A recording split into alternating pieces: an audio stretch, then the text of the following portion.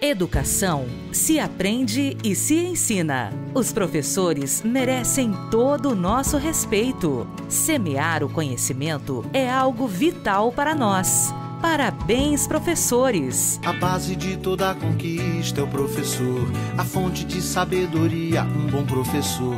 Uma homenagem da Rede Selinalta de Comunicação. Todo bom começo tem um bom professor.